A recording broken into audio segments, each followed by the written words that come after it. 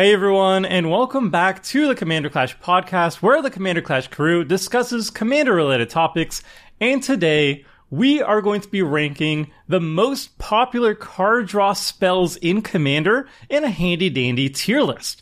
And joining me for this ranking, as usual, is Seth, probably better known as Saffron Olive. How's it going, Seth? I'm doing well, Tomer. How are you? Welcome back. Uh, hopefully, you had a good uh, a good little break there for a couple weeks. Heck yeah, I had a great time. For those who who are listening right now, I I was in Paris for two weeks. Super long vacation, super recharged. I'm back here today, super jet lagged, um, but uh, really excited to be back and, and joining you all. So yeah. Um, next up, as always, we got Krim, aka the Asian Avenger, aka the Sweaty Avenger. How's it going, Krim? Uh, it's really hot. My internet might cut out. You know, great as usual. Such a sunny SoCal heat wave stuff. It's so hot in my room. Yeah, you're currently experiencing an unprecedented heat wave. It's like the hottest ever been in the area, Yeah. right? It's great. It's great. I love it. I love it. To the point It's where great. like internet and AC and stuff is being intermittently cut. rolling blackouts are like the cool thing to do. So you know, we're doing that down here. It's pretty cool. Cool or hot? It's definitely hot. I'm like ninety percent sweat right now. Well, hopefully, hopefully it uh, cools down tomorrow. that's that's the the hope because we're recording it on a Friday. Um, yeah. Yeah. Woof. And um, in in the not so hot area, but still quite hot because there's no AC. aka is is Brewers Kitchen, aka Phil. How's it going, Phil? Hey, oh, it's actually really not hot. Like today it rained multiple times and I actually went out with a jacket, so Ooh. becoming more European, eh, European again, the weather here. Uh, actually quite, quite refreshing after this heat wave. It's, that's actually great. I mean, I say that now, but the rest of the year will be dark and cold. All right, with all that out of the way, we're going to be start talking about the most popular uh, card draw spells in Commander and how we're going to rate them. Um, they're according to EDH Rec. If you want to find our full list, we talked about we covered at least forty four cards. And we ranked all of them. So there's going to be a link in the article, the MTG Goldfish article. If you go to mtggoldfish.com, you can find uh, the article, and there's going to be the image posted over there. Uh, but we just decided to talk about like the ones that we felt of those are the most interesting because we can't talk about 44 cards in the span of like an hour-ish podcast. So we're just gonna we picked like 12 or so that we thought were the most discussion worthy, the ones that we have the most to talk about, and we're gonna go from there. And honestly, like we agree on a lot of them. Like, what's the point Yeah. of talking about Rhystic Study when everyone knows it's good? What are we gonna say? Like, yeah, it's good. Everyone Yeah. knows it's good. You know it's good. I know it's good. We all know it's good. Uh, Like, so yeah, we tried to pick Yeah. ones that might be interesting to actually have a conversation about too. Yeah, Rhystic Study, we gave all S's all around. And actually, that's a good segue to mention what our rating ske- uh, system is because, um, you know, we, we got to have a ranking scheme or else it doesn't really make sense. So at D, you're actively looking to cut this card from your deck. You're hoping to discard it to gamble. We never want to run these cards. At C, these are average cards. These are basically mediocre filler cards. We're not going to run them usually in decks, but if we have a certain restriction, such as a budget restriction, they're going to make the cut over the higher ranking card draw spells that we generally want to be running. B are cards that are only good in certain decks. These are good in a small percentage of decks, and these can be auto includes in certain archetypes. For example, uh, Archmage Emeritus, we would all consider very good in a Spellslinger deck because it draws cards very efficiently off every instant sorcery cast. However, you're not going to jam it in, let's say, a creature tribal deck that has blue in it, right? So it's not like a, a multi-format. It's not. It's not a format staple. It's a archetype staple. So that would be a B for us. Then moving to A, this is really good overall. We'll put we'll put it in a large percentage of decks. So we're not going to put it in every single deck, but it's going to be a high performer in most decks, and we're going to be running it a lot. And then finally at S, these are auto includes in all decks. We're basically we're going to put it like if we're in the color to run this card, we're going to be running this card, and we're going to have to have a good reason not to run this card. So, for example, we said uh, Rhystic Study is S's all around. So if we're putting just in terms of power level, if we're looking at just like what would make our deck better, if our deck has blue, we're going to put Rhystic Study in it, and we have to have a reason beyond power level for why we wouldn't want to run. Maybe flavor reasons or, or fun reasons or something like that. Uh, but that's out of the scope of this ranking. All right. So with that ranking scheme, huh? Is that is the scale in Fahrenheit or Celsius? I wasn't clear on that.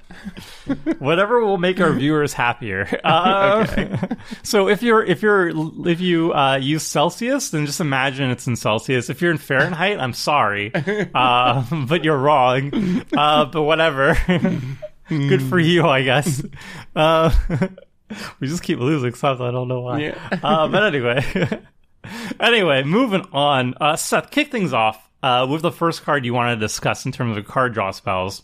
Ooh, so this is this is an interesting one. I'm very curious how people have this one ranked, and that card is Jeska's Will. Jeska's Will.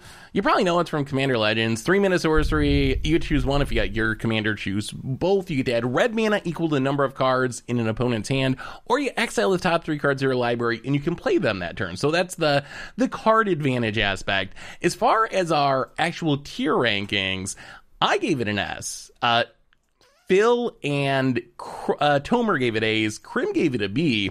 Uh, so we kind of kind of a mix there from like, eh, it's okay, I'll play it sometimes to ultra stable, play it in every deck. I consider this to be a card that I really will play in every single deck. Like from mono red up to five colors it offers so much value. Like the card draw mode is good. The ramp mode is actually pretty effective a lot of the time. And if you have your commander get both of them, you have a really, really huge turn. So I don't know. eh, What am I? What am I missing here? Am I overrating Jeska's Will? Is it not actually as as good as the S ranking I gave it? I think you're probably right, and I'm severely underrating that card. Uh, I'm actually going to put that right up to an S Oh. right now. Oh, that was easy. The- Whoa. wow, Uh, winning. because it's true though, right? Like, I mean, it is just one of the most absolutely cracked cards that you could have uh, when it comes to just if you have red mana, why wouldn't you want this? Like, I just don't see why you, you if you use red mana at all, this is always like valuable. You combine it with your commander out on the board, and you just get so much value. So this card, I I was severely underrating it uh, at B. Um, so that that's pretty straightforward on my end. I th- Oh, I see- I see I see up to an another S too. person moving it Oh, up. Phil, what, what's what's going on there? I, I usually don't play the card, but I kind of don't play it because it's just too much power with not too much synergy. So I think you know, it's kind of easy mode. But yeah, you should. I mean, if you have a copy of it, you should probably play it. So Yeah. I guess it's an S. It's See, it I'm- just Tomer, come on, accumulates come on, Tomer, give me that, give me that, I was- so Make it I- so- unanimous. I put it as A, but I was almost about to move it to B, and I kind of want to move it to B right now. Ooh, really? 'Cause- What do you not like about it? Interesting. So I, I love the card. I think it's one of the best uh, card draw spells in red, and and it's really good in like two color decks. However, I think if you just view it as like one mode, the mode that is draw cards, pay three mana, draw three cards, but you can only play them uh, that that turn that you cast it, then I don't think it's it's, like that amazing. It's good, but it's not amazing. Because oftentimes like if you if you cast it like on turn three or something uh you're not going to get any of those cards really. Like maybe you'll play a land if you missed a land drop or something like that. Um you really want to have you really want to cast it and then cast all the spells off it. And for that you need to have your commander on the battlefield so number one. And number two you need to use that you you need to have that red mana that you're generating off it to actually cast those spells or else again you're not going to be able to really utilize this card and for me, that means I'm going to run it in mono color mono red decks, obviously. Every single one is a staple. Two color decks, I think we're going to utilize that red mana very reliably. Three color decks, it's going to be a lot harder. But four and five, I just wouldn't run this card. Like, there's, there, how many, how many, uh, spells I'm going to be casting that require a lot of red pips? Like, if I can't, if I can't use the three cards, that I, I cast off it, then I I think is bad. So I wouldn't run it in four color or five color. And then that makes me think maybe is that is that just a B? Um, and I'm gonna put it as a B. I, There I it is, think B. that for I the switched low it cost, A. the cost of it being three mana is so low Yeah. that I don't think that it's actually like even noticeable if you can't use those cards. Like in those situations, I would still just use that red mana to spend towards putting it towards my commander tax or something. Uh, like I, I just feel like there's always something you can do with this card so far. Sure, but Isn't that pretty bad, though, Thomas if you don't have your good commander? point, Yeah. If you don't have your commander, sure, it's, it's- like it's still okay, isn't it? Like, I, uh, so I, I mean, agree with pretty you that just the card draw mode isn't that isn't that great. If that's all the card was, because we actually have that's a card that exists, uh, Act on Impulse, which is literally just the card draw mode. Everything else is exactly the same, uh, and that sees playing zero percent of decks uh, rightly in Commander, but. You're not just getting the card draw mode. Like you're getting this like, oh, it's turn three. Someone has seven cards in hand. Oh, I just cast this and drop like a six or seven drop and like run away with the game on top of the card advantage. So there's just like so much flexibility built into it. So I guess like maybe it's cheating. When I added this to the list, I was the one that added Jeska's Will to the list. I was wondering if it was a mm-hmm. little too cheaty for card draw because technically you're like not drawing a card and a big part of its power does come from its flexibility and the ritual aspect of it. But I think just like overall as a card, if I was gonna like discount that we're talking about card draw in specific, I still consider it a an S tier commander staple that I would play in basically every deck. And the one part I disagreed with with uh, what you said, Tomer, is like I don't think the five color thing's that big of a deal. Like, yeah, if you're trying to cast literal like Jodah or something that's five different colors, it's not great. But really, like, spend it on your generic cost. Even in a five color deck, your things are probably going to have like a decent amount of generic mana symbols. So eh, I don't know. I don't know if I've ever cast a Jeska's Will and been like, oh, I, I can't use the Yeah. seven mana. What else? Is, this is a bad card. Like, I just don't think it's ever actually happened in practice. But have you like, actually put in five color Tribal. decks? Like I would never even consider putting Jeska's Will in a five color deck In- because uh, you're not in a really dragon deck. I played in my five color dragon deck. It makes sense there. It's easy. In Ur Dragon? dragons are. yeah. Uh, I mean, I don't. I don't. what what use you got the Ur dragon on the whack. battlefield? No, what no, do you no, use no, for no. five color uh, five color dragon deck? I was about to say Ur Dragon because that's the only thing I associate. Morophon because I have the judge promo, so that's why I just do that. okay, okay, all right, all right. but like, but like, but like, over here, jeez. but like, not not even using like Morophon, right? Like the thing is just I I've enjoyed it just to play my dragons, and the excess red mana Sure. is just good towards the generic. So I don't know. I mean, I haven't really found it to be all that problematic. So I mean, I I've enjoyed it. Unless you I'm think he- casting ultimatums. If you're playing ultimatum tribal, then I'm sure, probably not gonna want this. I think the problem with this is the timing when you cast it. Like the good thing about Jeska's Will is that it can ramp you pretty early. Like if you play mono red and you play two drop, three drop off of it, that is pretty good on turn three or whatever. If you have a two mana commander or something. Uh, yeah, if you want to play dragons with it and use the red mana for the generic costs, then it's like a late game spell. But You then also have people- artifacts. yeah, sure, but you gotta have some extra mana then. So I guess if you want to, I wouldn't play it in more than three colors. I don't think I've played it in three colors yet, but I guess there's a there's an argument just because of the raw power of the card. But yeah, the easier, oh, or the more you can use the red mana to fully cast spells, the better it gets because it's actually pretty good in the early game, right? It, people still have cards in hand, and it's it's just better early, which is not mm-hmm. What you would expect from a powerful effect like this. But it's actually And plus, it's great against the Phil meta because Phil always has like every reliquary tower and like twenty cards in hand. So you just, y'all, boy, you get so much value out of it in our uh, in our play group. I mean, we've seen some crazy turns with Jeska's Will, right? It's just always Yeah. the start of something completely broken. Yeah, I'll, I'll switch it back to an A. I do think like if you play it on turn three and somebody has like seven cards in hand and you don't have your commander out, just using it as a ritual is probably good enough. You pay three mana, you generate you generate seven, so you're netting four mana. That's like better than most ritual effects. Um, but yeah, I don't know. I there have been times where like I generate some mana, um, I cast like one of the two spells that I flipped and and whatever, and it's not been that great. And you do need your commander out for to get maximum value out of it. I don't think you you sold me on on five color, four color decks though. Like yeah, dragons I understand because there's going to be a lot of like colorless pips, but like if I'm running like Jodah or like Sliver Queen or something like that, like I don't know how many how how, how much am I going to actually use that red mana on? Um, Although- I don't know. Wait, now that I think about it, is usually you cast like one card off of it, right? But And then you can play not you can play lands draw. off it too, right? Like Ah, sure. Yeah, Yeah, you can but play a if you off just it. get Yeah. one card. It's not technically Not very card good. draw since it's a card itself. So yeah. Yeah, if you I were mean, only looking at one mode, it wouldn't sad. be a good card, right? Like, Yeah. it would be just like uh, act on impulse or like I don't know, one of the other thingies. So it's like it's it's the fact that it does both is what really puts Yeah. it. And I, I do agree with Seth that I don't think it's cheating because I think if you ask the average viewer, like you even leave a comment section as well, like I think most people would consider this card draw. So if people consider a card draw, I think it's worth mentioning it here. Can't be picky in mono red as well. like it's Yeah, the oh, best yeah. card draw in there. Yeah, Yeah, no, red wouldn't true. have like any card draw if you didn't count impulse style draws because that's just like how red draws. I guess outside of wheel effects, really. But Yeah, yeah. That is true. All right, we'll move on from Jeska's Will to Krim, your first pick. So my first pick uh, is Stinging Study.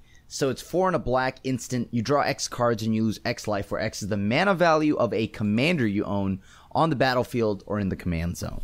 Pretty straightforward, just five mana instant speed. I would lose like a good chunk of life. I if you look at a majority of the commanders that are like, let's just go with like EDH Rec. You look at the top row uh, of anything that has black in its mana cost, you're looking about probably about on average like at least four mana, right? Maybe even more of the most popular uh, commanders. I think this card, if I would pay five mana to draw four cards, lose four at instant speed. Anything beyond that, it's even better. So at first, I had this. I was like, okay, well, is this only in specific decks? But then, like, I realized I think that I moved it up to an A, and it's like just on the cusp of like almost reaching S because it's only one black pip. So it's not like it's like asking you to go triple, quadruple, double black or anything like that, right? It's not like a sign in blood. It's pretty easy to cast. And when everything is at least four mana, I would gladly pay five mana instant speed to lose four and draw four. I think this card is really, really good. I mean, I It's think not on it's- MTGO, right? Uh, That's unless they recently Wait, did they added add it? I did, They I'm not sure if it. I'm not sure if it just made the I'm cut or checking not. right now. I I will. Uh, no, no, it's still No! not. Still not been added. ah! So Okay, because I mean, Sad. I have it in my paper decks, and obviously Yeah. in my Xander deck, like yeah, like s- lo- lose Ooh, seven, yeah. draw seven. Right, I'm, Instant I'm the speed? human I didn't ever. see Instant that. speed. I mean, that's So you don't have Instant you get around like that discard thing, right? Like if it was sorcery speed Right. and you draw like six or something like that, and you spent five mana to do that, like you're gonna probably discard a lot of cards. Right, But the fact that it's And- instant means oof, you get a full turn of all those cards. and that is why I really love this card. And like we all know that, uh, like I think everyone at this pod is willing to pretty much lose all but one life to draw a card, right? So that is true. Uh, like that. eh, That's why I think this card is just a complete powerhouse. I don't. Yeah. I don't know. I love this card. It's instant speed. Just I will dome myself for like nine and not care, like and wonder how I died. Doesn't matter. I drew nine cards. So, like a- as long as your commander is in black and at least four mana, I think this is worth it in your deck. Now that that does would that fall under belongs in some decks because. That's why I bring this up because a majority of these, like the color black, right, commanders that are mm-hmm. good and popular on rec are at least four plus. Mm-hmm.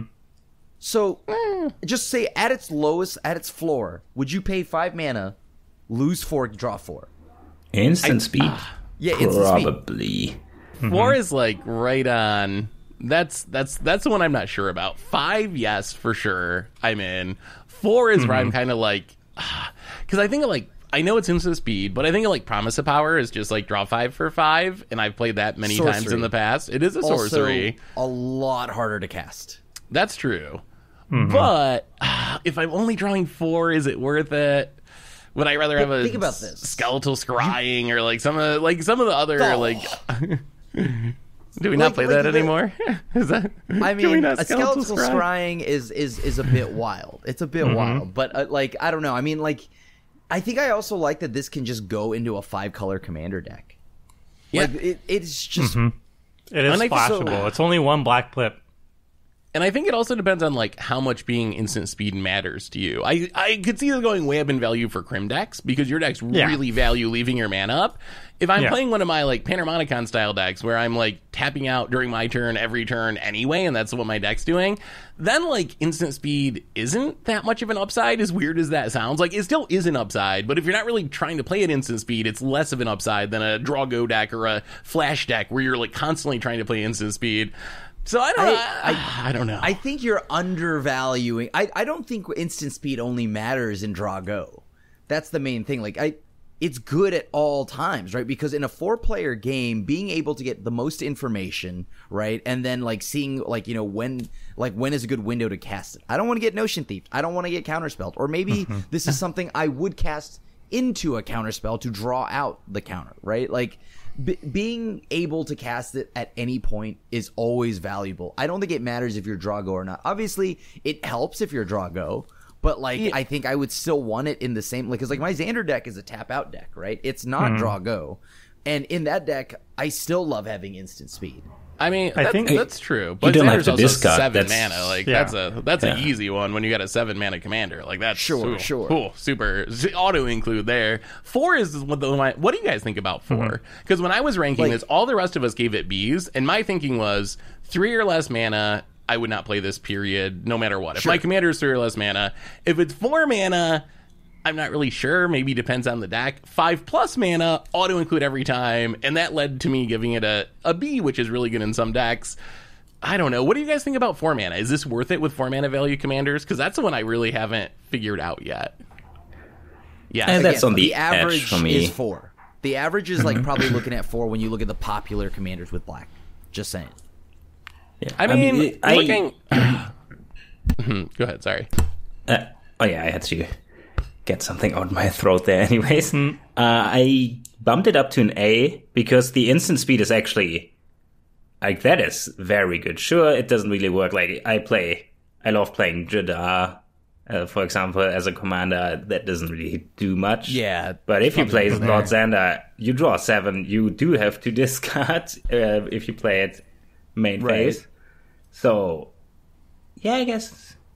I mean, it's a good question with our rating system. If half of the commanders don't work with it, if we make the cut at four, and four is kind of on the line. Like 5 is mm-hmm. sweet, and obviously everything more is just. We I think we're thinking insane. half, but like like 4 plus commanders in black, Yeah, there's a lot. yeah. And they're I all like if you look are, at the popular ones, they are they are you know, it's not like oh some fringe, you know, niche commander like on average, a good amount of them are pretty popular, right? You look at Muldrotha, Yarok, you move Oh, yeah. Tasigur, you move across the board, right? Edgar Yeah. Markov, it, Kaalia, right? Like even Queen Ooh, Marchesa, these are four great, drops, yeah. right?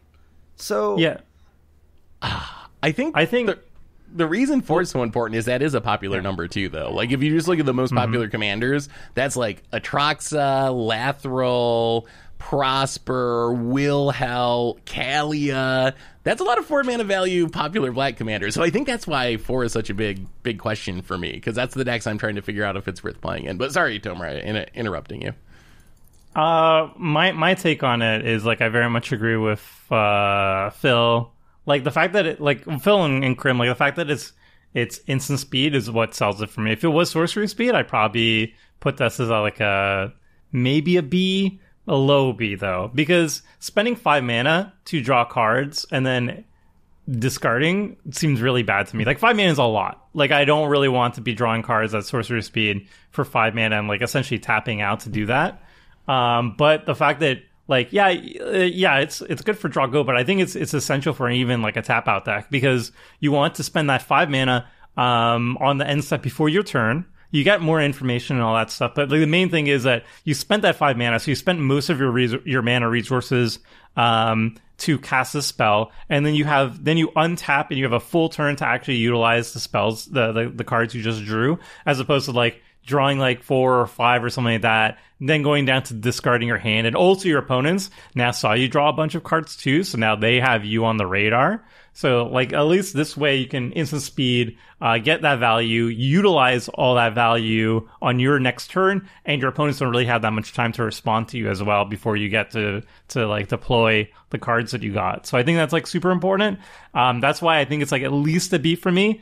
And then yeah, I think there are like a lot of uh, commanders that are four or higher that this is really good. Obviously three, that's the cutoff. Like it, it- under four, under four, no. At four, I would actually compare. I would, I would at four, I would say like I won't always run this because sometimes there's more thematic options or something that I'd rather run, or more synergistic options that I'd rather run. At five or higher, like I'm always going to be running this card because it's really, really good, and it's only one black pip, so it's so splashable. Like I'll put this in a five color deck.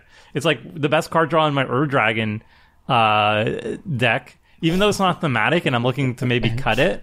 Uh, but like, how is it not thematic, right? It's it's you draw nine cards for five mana at instant speed. It's it's so stupid.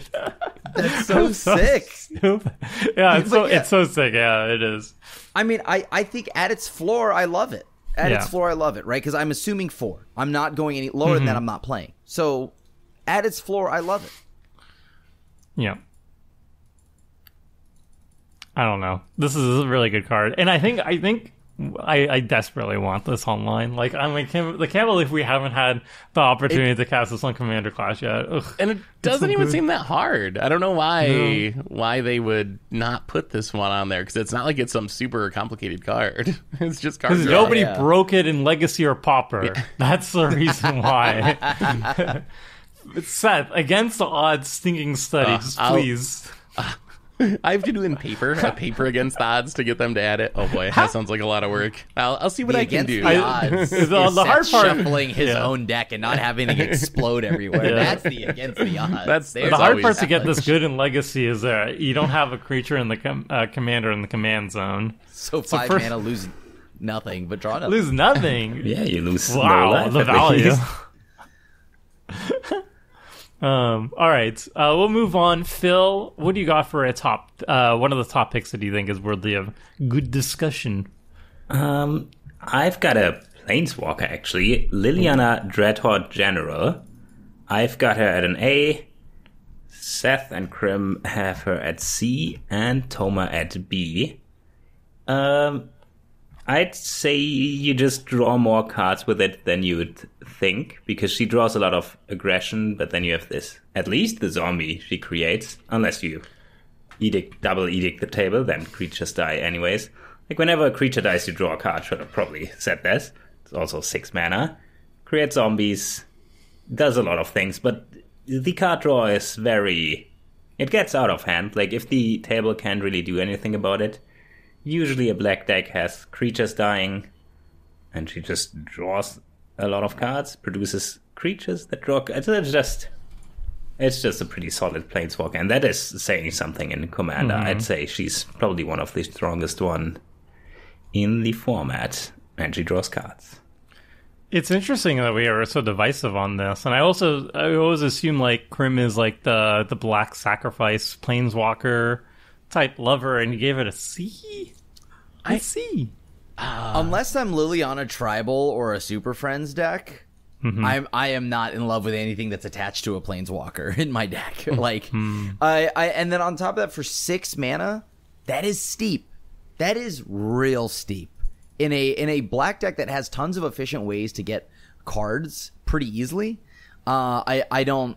I don't think I would want to have it attached to a planeswalker. I like the edict. I think the edict is nice, but again, black has tons of more efficient ways to do that at a cheaper cost.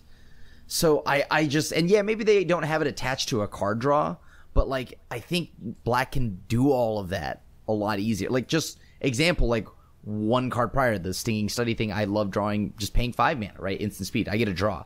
I I like Liliana's versatility.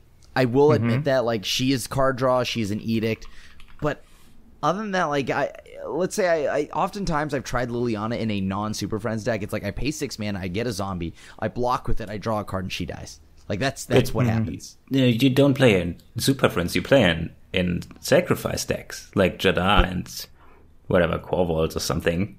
That just Well, I draws but, uh, so many cards. I actually think she's better in a Super Friends deck than a, like a like a sacrifice deck. Yeah, because then the rest of the Super Friends also poop out little tokens, right?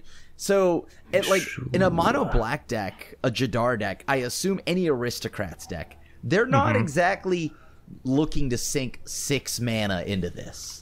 I think they I can am, get bro. everything that's attached to Lily for a lot easier. and a lot less fragile body.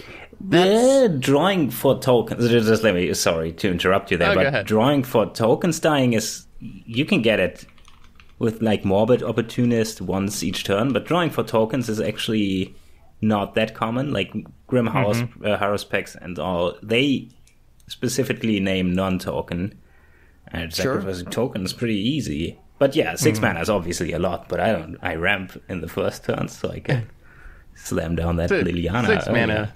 Six mana is nothing to Phil. Phil's got six mana Yeah, yeah. three. He's always got the Sol Ring. We gotta, we always gotta it's always evaluate turning it. green. Yeah. the people that don't have turn one Sol Ring. Yeah, we gotta uh, evaluate it through the is kinda, like, context of- steep.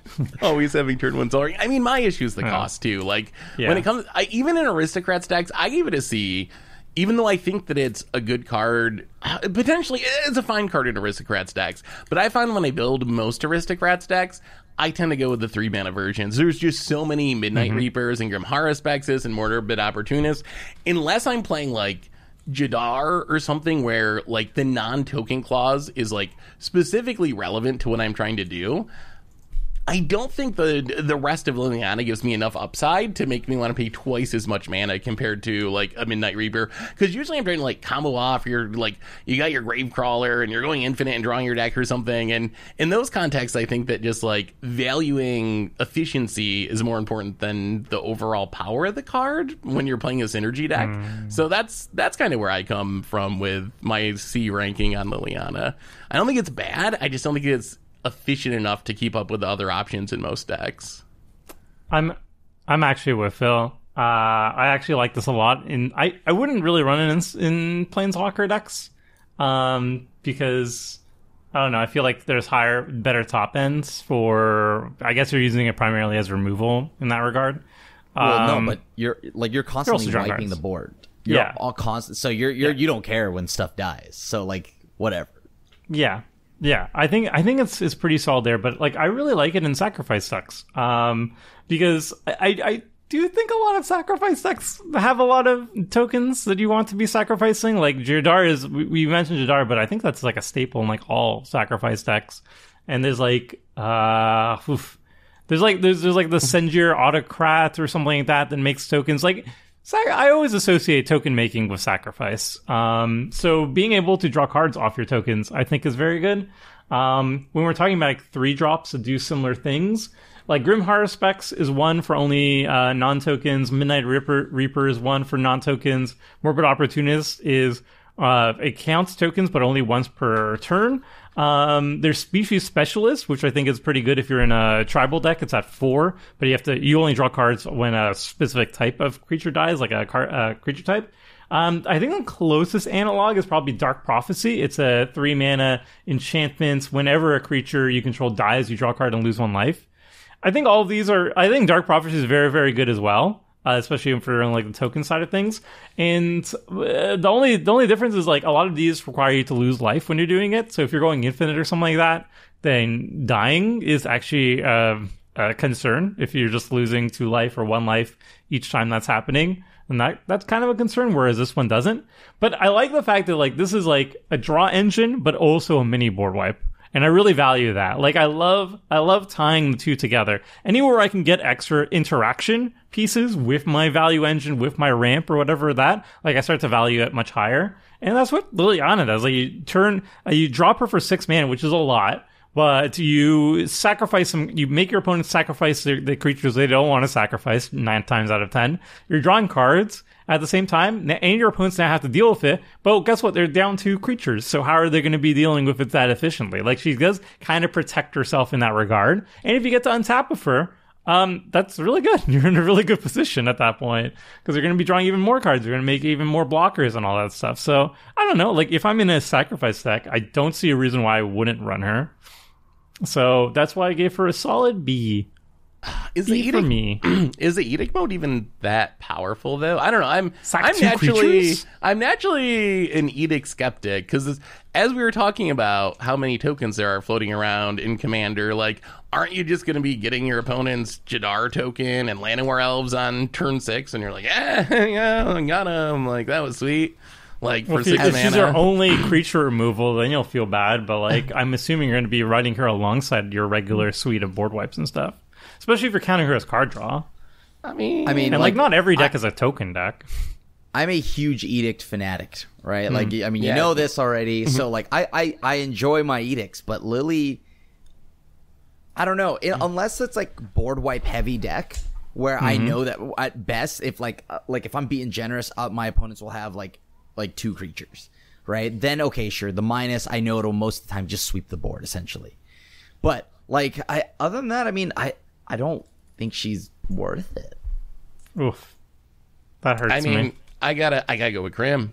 Krim is the edict master. If Krim says an edict Hmm. isn't good, then I'm gonna, I'm just gonna trust Krim on that one because Mm-hmm. he she's loves not as edicts more easy than anyone. loop. Yeah, like she's not as easy to loop as like a fleshbag marauder, right? Like I can loop that like a thousand times over faster than I could like a lily.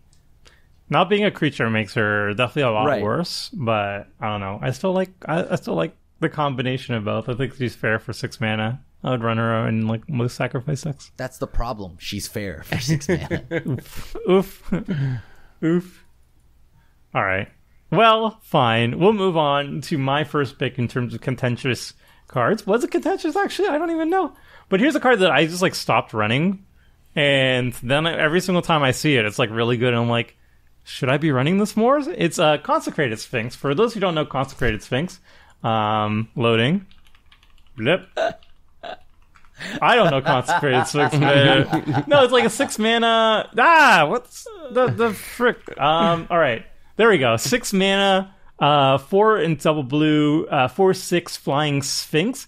Not a Phyrexian Sphinx. I'm still upset about that. It should be Phyrexian. Um, once they did the great Phyrexian errata. Uh, whenever an opponent draws two cards, you may draw two cards. So the way this usually works is you play it on your turn or whatever, and then every single turn cycle, you're drawing a minimum of like what six cards because you pass to your opponent's turn. Their draw phase, they draw one card, you draw two. Then the next person's turn, they draw one, they draw you draw two. The next person's turn, they draw one, they draw two. If your opponents can't deal with it like immediately, you're you're drowning in card advantage. And that's not counting the extra card draw that they're going to be drawing. Like if they draw more than one card per turn, you're going to be swimming in card draw. And it's a creature, so you can reanimate it. You can cast it for less than six mana too. Um, and in terms of ratings, uh, Phil put it highest, ranked it highest at S, and I think that makes sense because he, I think he's run it the most out of all of us, um, recently at least. Seth and, and I run it, uh, put it as A, but Krim, Krim is not as hot with it. He puts it as B. So I, I want to hear from Phil first because I feel like Phil has been running it the most in Commander Clash recently, and I've always been most impressive. I think so. Like I sometimes run it, like I s- ran it in Sphinx Tribal, but I think the card is actually Rhystic Study is better because it's cheaper, but I think it's the second most absurd card draw engine. Like whenever it doesn't get killed right away, the player just draws like twenty cards or something. Like not even overstating it. Like it's usually way like too much. Uh, I used to sometimes run it just to power up some janky decks, but yeah, it's usually around the well, you should probably not. It's like Jeska's will, like yeah, you can play it in every deck and it's great in every deck. I mean, it's an S for me, but it's almost too good, and you become the villain of the table. That is that is actually a problem with this because if you drop it, everybody's gonna say, well, we gotta either kill this or kill Phil. yeah. That's that's actually what I was gonna say about this card. I think that's actually like the biggest drawback of it. It's incredibly Yeah, powerful. If it sticks out, you draw so many cards, you probably win the game. But it comes down pretty late compared to Rhystic Study since it's six mana. So people sometimes mm-hmm. have a board and so forth at that point, and you slam your Sphinx, and they're like, "Oh no, none of us have a removal spell." Well, I guess we just all slam our creatures at Phil until he dies, or else he's gonna kill us with all these cards he's drawing. So I think the the arch enemy mode of Sphinx is actually like a vote against it in my opinion. I still have it ranked as an A because it is. I I think I agree with Phil as far as just like card draw that can take over a game. It probably is second to Rhystic Study in blue, just as far as the absurd amount of advantage it can generate. But I think it does come with risk because sometimes it leads to the the player removal thing if no one can remove the Sphinx itself. That is exactly why I have it at a B. And when I say for specific decks, specific decks that can handle immediately becoming the arch mm-hmm. enemy, right? Like, cause like that is the main issue. I've played this. I've played this since you know I've I started in Commander, right? Like I always thought it was a blue, like you know, like a blue Staple. powerhouse when it came to drawing. Yeah, like it is a blue staple, but because of that exact reason, where every time I've played, it, I've immediately died. Uh, like I, I've, I've just. It's not even like there's no politicking that you're gonna do with a consecrated sphinx. No one cares, right? They, So- they're gonna kill you. So Uh, Rhystic I- Study is a B as well, by that logic. No, logic. Rhystic Study though doesn't co- like the thing here is Rhystic Study is three mana. It's pretty often easily removed, uh, and like so like I I found that it is. I find Sphinx people. isn't I've found. I have found people will remove. There are more ways to that just have destroy an enchantment, an artifact, or whatever attached to card design nowadays. I feel like most enchantments and artifacts are immediately dealt with whenever needed.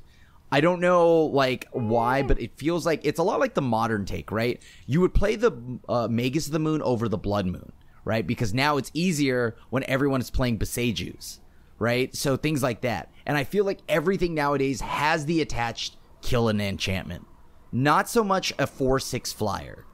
So I like that way What more. about black That- decks I- and red decks and Rakdos Black decks have okay. Rakdos They decks have will the one just- feed the swarm, fair, and then all is dust, Ugin, and all that other stuff too. but that gets rid of creatures too. That's fair. That's I fair. mean, Okay, I, it's fair. I, I'm gonna, I'm gonna disagree with the uh, enchantments being easier to kill than creatures, but I do think the other thing Krim is really true. Like, it's half the cost, and it's much easier to pay a three mm-hmm. mana enchantment on turn three and untap and wrath the board and stabilize and be like, "What you gonna do? I draw all these cards," or to like play it later in the game for three mana and leave up something to defend yourself, than it is to tap out for a six mana Sphinx and be able to defend yourself right away. So I think that for me, the mana value is the biggest difference. Like uh, three mana is just a lot easier to leave up other things to do, or comes down so early that your opponents aren't to have a big enough board that someone can one shot you or the table can one shot you in one turn cycle. Because if you manage to stay alive with either of those cards, you're probably going to be able to win from the card advantage, unless unless we manage to mill you out. But uh, outside of the mill them out possibility, One day. you're One day. probably you're probably going to win from the card advantage. So. I actually did mill myself out with a consecrated sphinx at CommandFest Richmond. Tomer Tomer was in that pod with me. Yes. I accidentally copied a consecrated sphinx and then played a notion thief.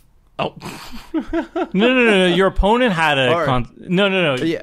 Your opponent had a Opponent consecrated had- sphinx, and you right, had a notion, had a thief, Notion Thief. Because consecrated Yeah. sphinx is a May effect, and notion thief is not a May effect. So May he effect. chose oh. every single time to draw two cards. draw, yeah, draw. And poor Krim did not have the May effect, so he could not stop drawing cards. Oh, that's um, so and that was a beautiful way to I die.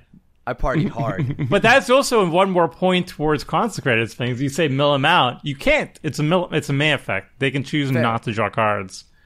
they one can do that one point to sphinx. Sphinx Ah, yes, is a good card. No one is denying that Sphinx is a good Yeah. card, but like, yeah, like again, three mana, and I think it's just easier to deal with Rhystic, so people probably will just always get I rid of feel you like- or the room. I feel like And it's a little can- bit underrated. I don't know. Really?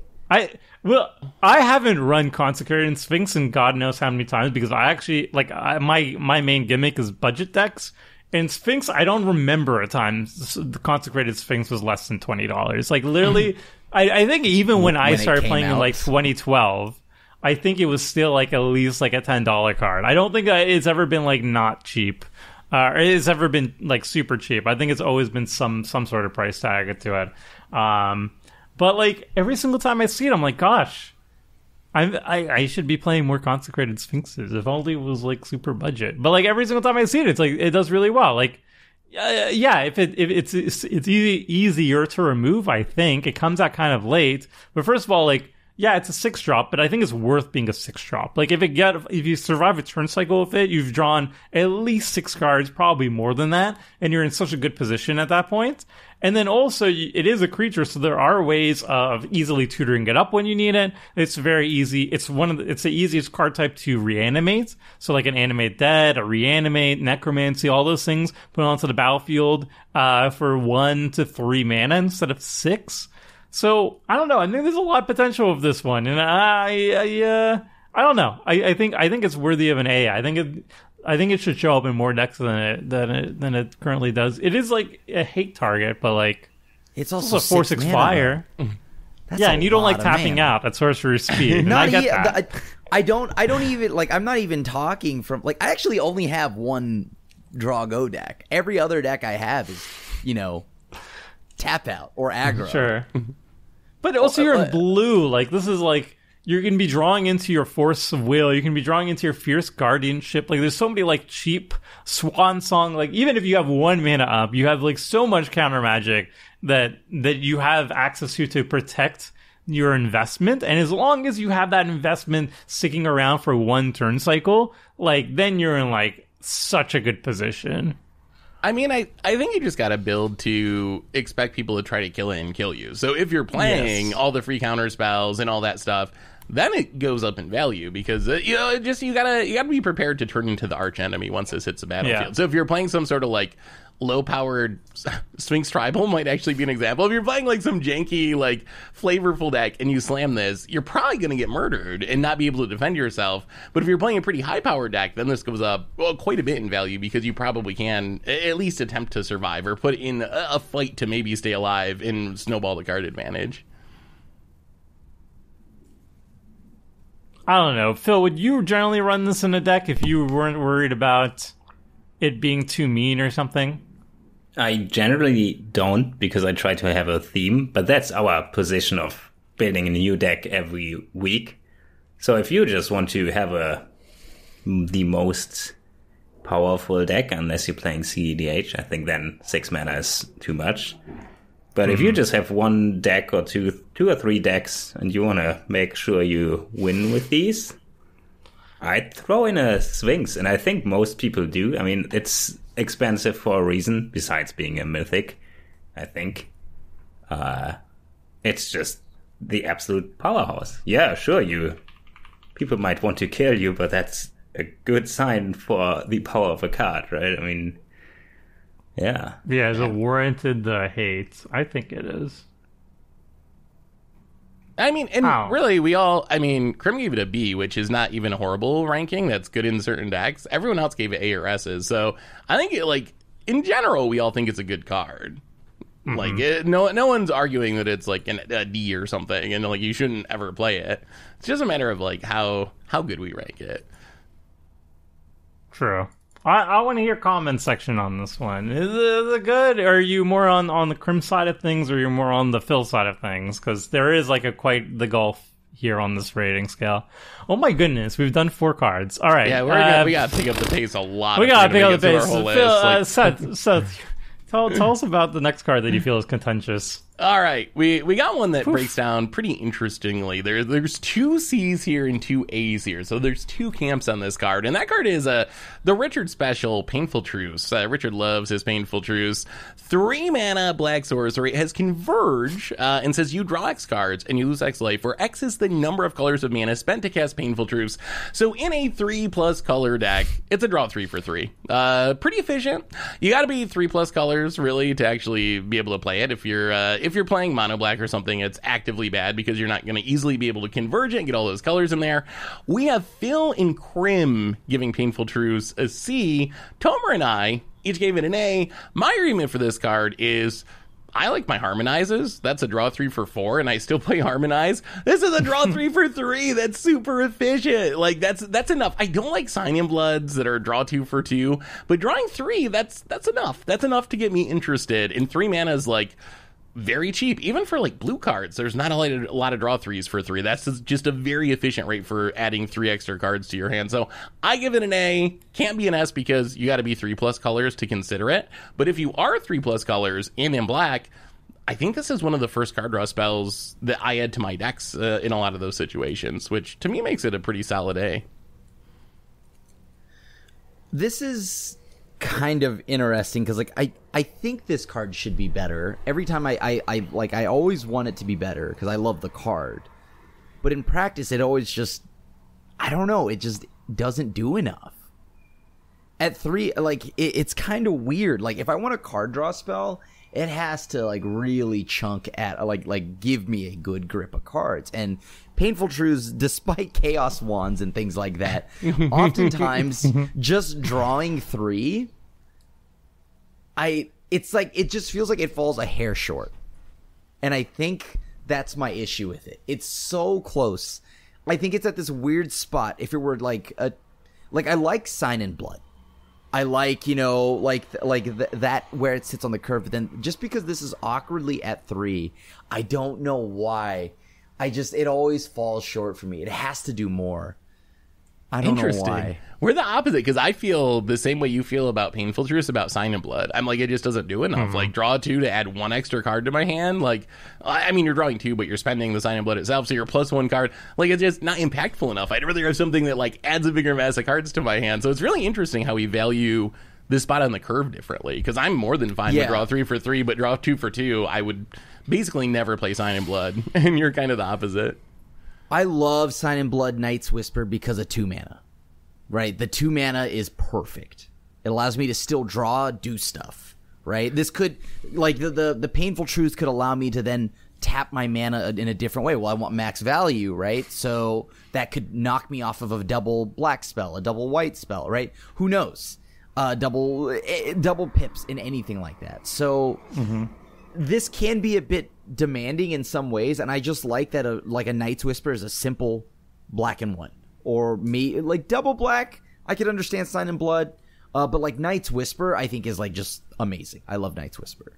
So I don't know. Maybe that's just me because I I think three mana, eh, two mana definitely great and still allows me to do a lot.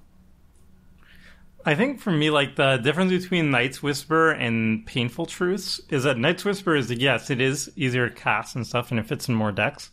Uh, but I always see that as more of like a hand smoother effect as opposed to like a hand refill. Like two two mana draw two. I I basically replace one. I replace the Night's Whisper and I'm up one card, and I think that's like good if like let's say you have a lower lane count and you're looking to like smooth out your draw a little bit, or the opposite too. Like it just makes your deck a little bit more consistent at the cost of like spending some mana to do so. Whereas you know pay uh, pay three, go down one card, nest two cards. I feel is like it's kind of like bolstering your hand a little bit. And so that's how that's in my brain. That's how I see the difference being. I don't know if that's well other people feel. Um, I feel like almost like this card is is slowly becoming less good over time because we are getting more thematic and synergistic options that just perform better. But even so, like I if I'm in a three color plus deck, I'm just jamming painful truths and it always feels good to me. Like I've never I've never kind of regretted doing it. But Would I can kind of see like this- getting less good. Would you play this or read the bones? Oh, I hate This. Read the Bones. Read the Bones, I think, is. I like let's, let's talk about Read the Bones real quick. Everyone in EDH Rec loves this card. It's three mana and you're plus one card, one card, one, one. But you get the But, uh, scry too. You know, I can pay three mana and be up one card every single turn with a Phyrexian Arena. Every turn. Why in the world would anyone ever put a Read in the Bones in their deck? I don't get it. EDH Rec people, y'all. Y'all are tripping. Y'all be tripping. Seriously. Yeah, like, I don't get it. Yeah, there was a point on my list as well here. Sign in Blood, Read the Bones. I don't get it. I guess the Krim makes sense. If you want interaction and follow it up with other cheap spells, sure, but the way I play Commander is ramp, play something big, then play a big draw spell to draw, redraw my hand, and there's no real place in the curve for two mana Read the Bones, or actually three mana Painful Truths. They are also hmm. kind of boring. They don't really synergize with your commander. I usually try to get card advantage with my commander. I mean, they're good. Three mana draw three is probably as good as you can make it before it gets super broken. Uh, having no other restrictions beside three mana. If you have like a synergy card that draws, I probably play a card that is slightly worse but synergistic. Like if a creature died this turn, you draw three cards probably play this. Like, Painful Truth is just so. Oh, yeah. Three mana, draw three, read the bones, and sign in blood is even l- less exciting for me. I I I'm think Read the Bones is a hair higher on my list than probably Painful Truths. They're both a C. Ah, no. Sorry. Go it's just one more. Let, let me Because of the explain. Let me explain. Yes, the scry because I value card selection. Like I You could like card selection. more. Yeah, but if I draw a bunch of blanks or a bunch of nothing, I that's the, I'd rather just not. Right? Oh, cool. I'm up. Just cards. don't play the blanks. Play. But the thing here is like, what? Ha- okay, so I can blindly draw three, or I scry two and go up one. So you see, you see one one Yes. additional card, but it costs you a card in your hand. That doesn't seem worth think it to I- me. I mean, to be honest with you, I don't think either of these are. Worth it. okay, if you're asking me. Okay, so, okay, so, okay, so, like, okay. but uh, please don't take this like where I think that Read the Bones is a staple and this is not. Like, I think both Read the Bones and Painful Truths don't work. They're at an awkward part of the curve. They cost just too much mana to where it doesn't matter draw go or not tap out. You want to play a threat. You want to follow it up with a threat, right? Like it like two mana is like a sign in blood. I can do that and then follow it up with like a threat. Three mana gets a bit weird. Gets a bit weird, and uh, so I just don't like the three mana spells we've got to draw cards with right now, unless it's Rhystic. That that okay. Well, that card's great. You gotta re- I- okay. Ah, go ahead. I think Tomer. for Read the Bones, one thing to, to note though is we we basically pulled the most popular card draw spells from EDH Rec, and some of them some of the cards are going to be inflated just because they showed up in like Starter precons and stuff like that. Yeah, so I feel like Read the Bones might. Let, well, let me double check. Let me double check to see if it was uh if that's if that is the case. I might be talking out of my bum, but No, All no, right, you're it's right. been Read it's the been in a couple is- commander precons. Yeah. It yeah. has. So I feel like Not- that that number is going to inflate it a bit. Although they were a while ago, Sign in Blood I think is was an original commander in 2014, Commander 2014. Uh, and then Read the Bones 2014 and 2017. Oh, and also I guess Dominaria United. So it just came out in the new ones as well. So that does inflate it. And also I guess the other the other argument might slightly be budget. Like to me, I would much rather play Phyrexian sure. Arena or another card that I think we're about to talk about, Oh, Black Market yeah. Connections. I wanted Uh, to hear about. For, I thought you were going to mention Phyrexian Arena, but also I'm far away from you now, so you can't beat me up. Yeah, we talk about it. But the, these cards are dirt cheap. They're commons that have been Yeah. reprinted a bunch of times. So if you are budget conscious, these are like Yeah. really cheap ways to add maybe not great card advantage, but some card advantage to your deck compared to some of the other options. If you don't want to spend 30 bucks on a Necro or, you know, whatever Yeah. it costs for a Phyrexian Arena these days. I will only run Read the Bones if it's a budget consideration. Yeah, like it's like 25 cents or something. You can pick it up super easy. So I just use it to fill, Yeah. like fill up a, a fill up a deck that. It, but it's not a card that I would run if I have no budget restriction, or even like let's say I was run, making a hundred dollar deck. I probably wouldn't even run Read the Bones at that point. It has to be cheap. you got to be uh, going it's just super filler. budget. Yeah. Yeah, Yep. it's just filler. But like Painful Truths, I, I'm kind of siding with like Phil here, where I, I think like it's.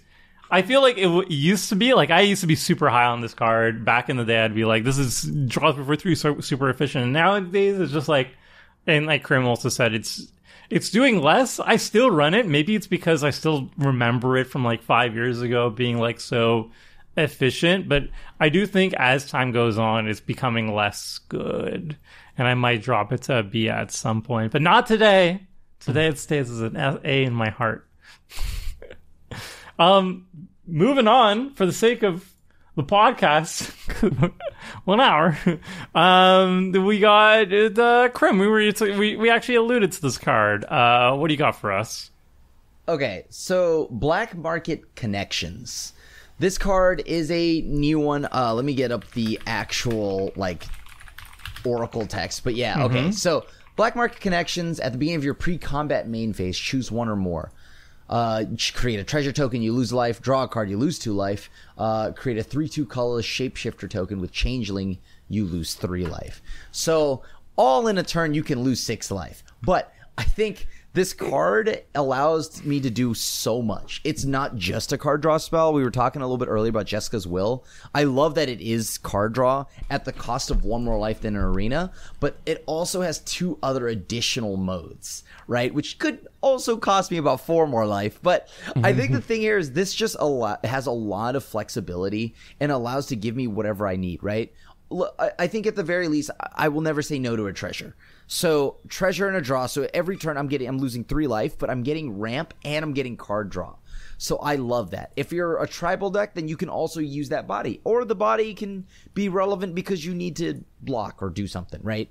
But for sure, this is just a powerful threat. I love this. I, there's a reason why I have this at an S.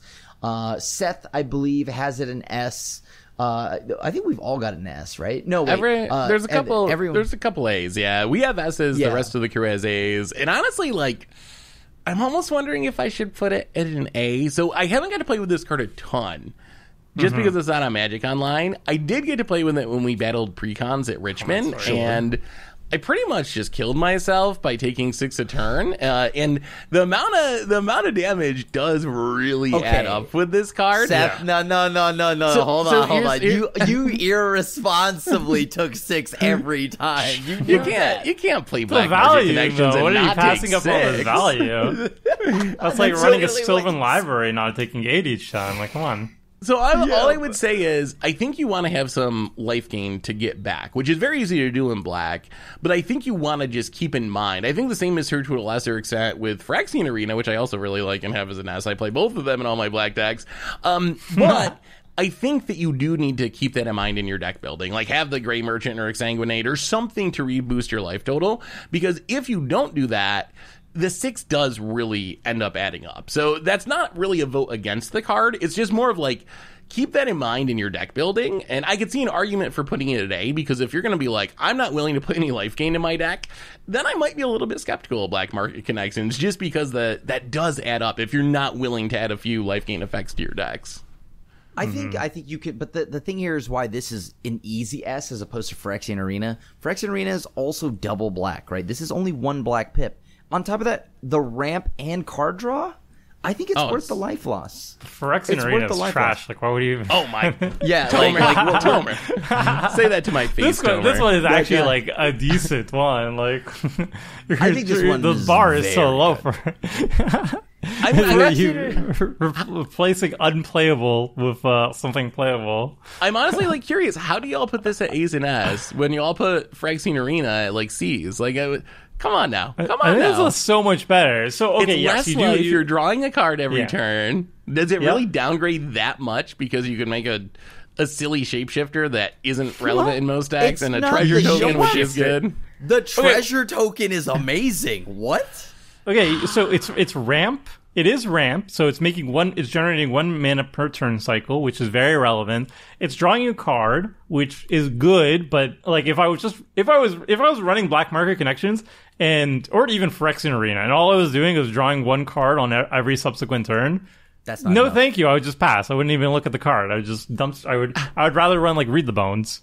Obviously. Uh, like what are you talking about? I'd rather well, run read the uh, bones over over Phyrexian I don't Arena. know. I don't know However, that one. You would However, rather draw you one can- card okay, one okay. time than a card every turn. Yeah, Oh because my I got God, it Tomer. immediately. read the oh bones. God. Read the bones. and you draw Tomer, two, and you patience. and you scry two, and and you do that immediately. You don't have to waste your time like, oh, I play Phyrexian Arena, and then I have to wait an entire turn cycle to cantrip, and I lose a life, and then I have to wait another turn cycle to to to go up one card. Like, ugh, this, ugh. no, thank you. At least this one draws me a card puts a puts a put me up a mana so I can cast a, a, spell higher up or cast two spells, and then also yeah you're losing life, but guess what? You get a, a blocker. You know you get to that's kind of like getting your life back, or you can uh like put an equipment on it or or attack get attack triggers and stuff like that. Like it's good. I like You it. You still gotta I wait like- till the next turn. You still got the I same know, patience that's why I don't issue. put it as an S. I'm not gonna like, I'm not gonna just put it, jam it in every single deck. But like, if I can actually get good value out of all those three, all those three uh, modes, and I have some some uh,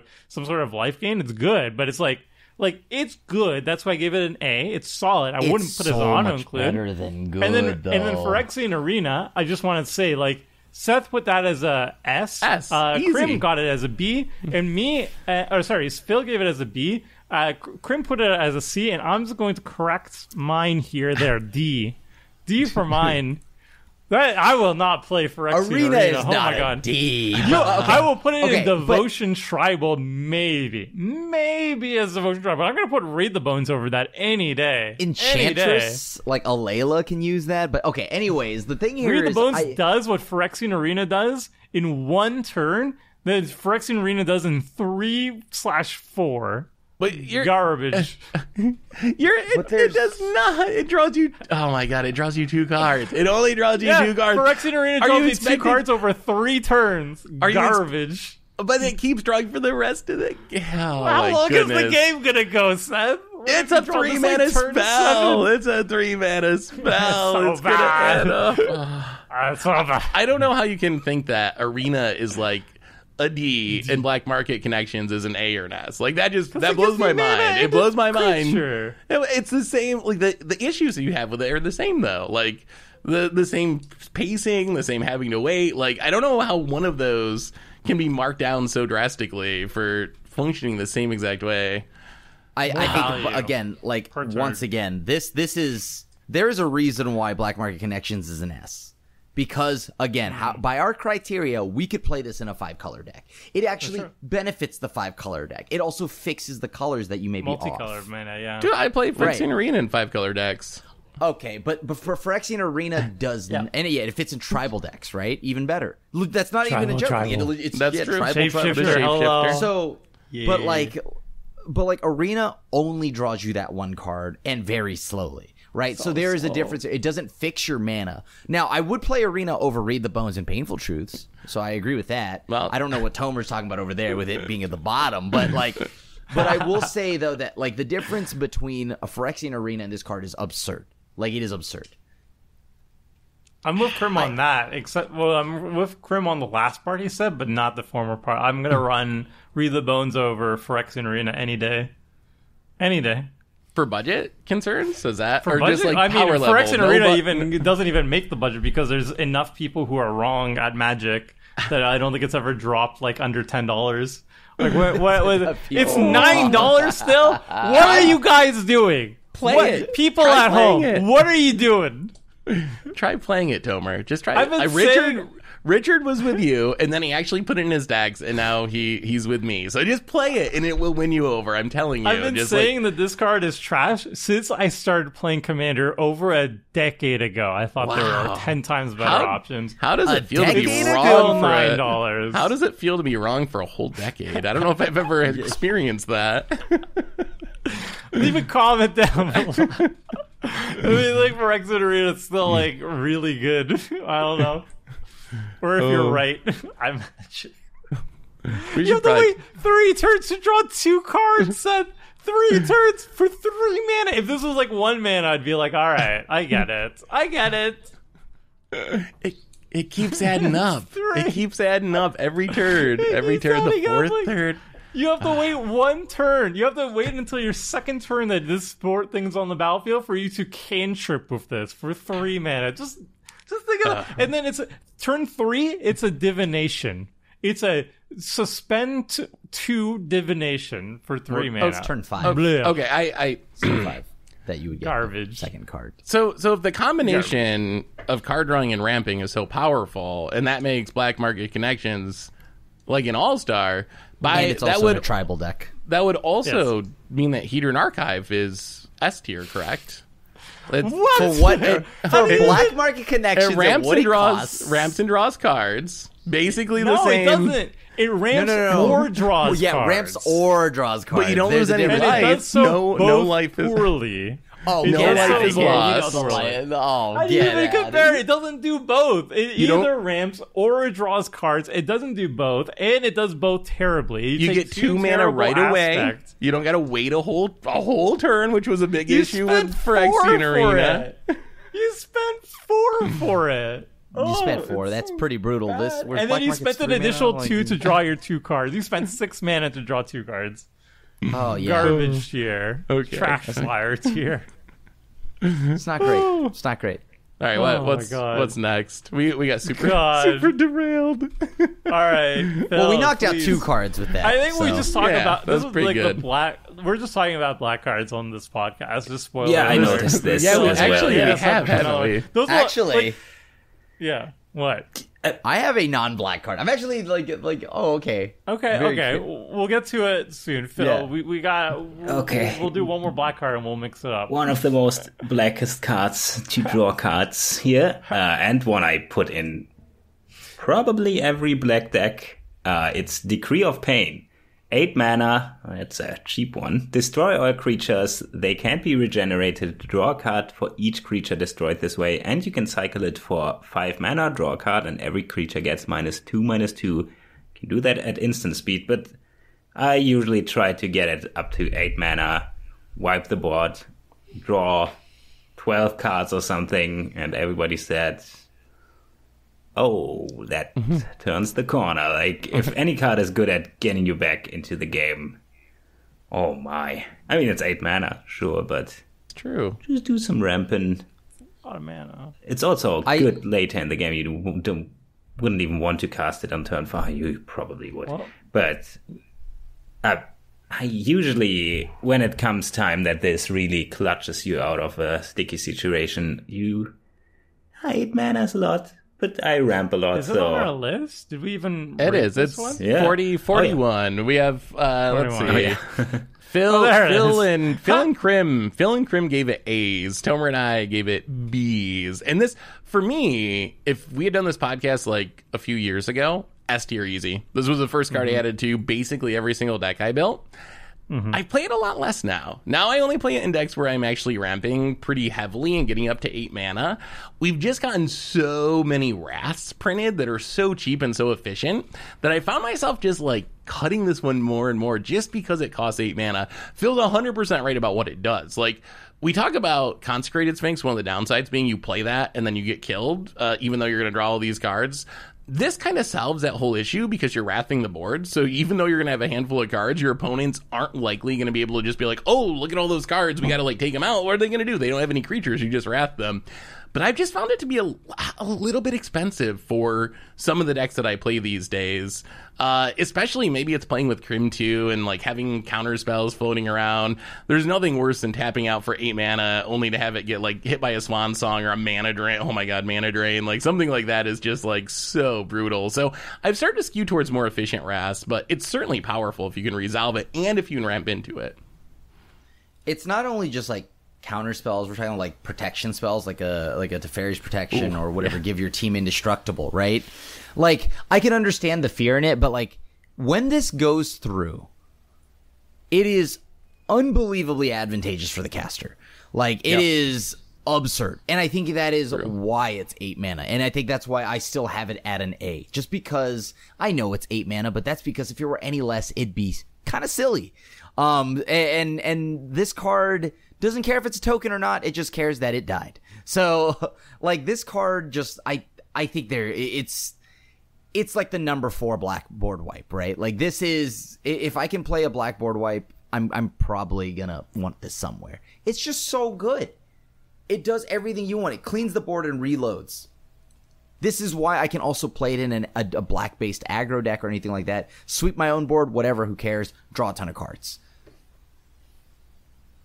Hey man. I, I, I Eight think mana is eight mana is a real cost, but it's also Yeah. absurd for eight mana. You Like, can like- also cycle it. Like if there are Sure. a lot of small creatures, like you're against a token deck or something like that, you can cycle it at instant speed, which is nice. But like, yeah, it's like that. I think it's still worth as a top end, but I do just run it less. I think the reason why I run it less though is not because eight mana is so m- much, but rather I think a lot of a lot of archetypes are getting more and more asymmetrical board wipes these days that they just it starts taking out a spot. So, for example, most tribes will have at least one board wipe that will destroy stuff that's not your board. For example, uh, vampires recently got like Olivia's something Olivia's something where Yeah. non-vampire creatures get negative X, negative X. Um, there's obviously like for dragons, they're destroying non-dragon creatures. There's at least two for giants. Like I don't know. I guess giants are the not that Battle popular, of Frost but and Fire. yeah. And then isn't there So- kindred something that does it for any Kindred tribe your you dominance. for any type of creature. Um, and even artifacts, like there's like destroy all non-artifact creatures, Um, Non-token, so- yeah. yeah, non-tokens or power X or higher than that, and stuff like that. So the more of those appear, those are going to be pri- high priority in any deck that I run that can run them. Because I think those are just like the best for, for those decks. Because if it doesn't touch your board state, but it touches my opponent's board state, that's fantastic. So, and then there's like stuff that's more flexible, like farewell, where like you it's exile and it gets rid of it can get rid, rid of the creatures like decree does, but it also will get rid of artifacts if you need them, or enchantments if you need them, or graveyards if you need them. So I feel like the decree is getting slowly a little bit less good these days. It's always good, but I I do run it in less decks now, but I still think it is very good. Like you It, just it by no hand. means is your number one board wipe, but you would still Yeah. play Olivia's Wrath or whatever, the destroy all non tokens, whatever, right? You'd still play that. That could be your number one. Mm-hmm. Yeah. But it's still good to have this as your number two or number three. Or But really, though, like if you're in Rakdos, you got like Blasphemous Act, you got Toxic Sure. Deluge, you got Olivia's Wrath. Like, you're, Well- there's well, a if you're pretty vampires, that's if you're huge yeah, if you're building the vampire Yeah. deck, but like. ah, is that maybe it's like five draw. or six? Maybe if you play a Krim amount of wraths, the card draw is uh, No, the card draw is it- good. I mean, it On kind average. of roughs the board, but the card draw is absurd. Hmm. Like, yeah, Right. I can destroy the board pretty easily with like Toxic Deluge, but I don't draw twenty cards with this. And yeah, still eight mana. That's true. That's But- true. Damn. Like we've mean- seen some pretty big decree of pains in Commander Clash. I mean, we've all to be fair, we've also seen Phil die with it in hand, not getting to eight mana on Commander Clash. So I was close, we've though. seen we've seen the good, the good and the bad of of Decree. Maybe I'm underrating a little bit at B. Maybe it should be an A. But I don't know. My experience has been similar to Tomer's, where I love the card. I just I don't play it as much as I used to. I still play it sometimes though. Maybe I should run it more often, but yeah, Yeah, I'm maybe- like I'm like maybe B I plus A, too.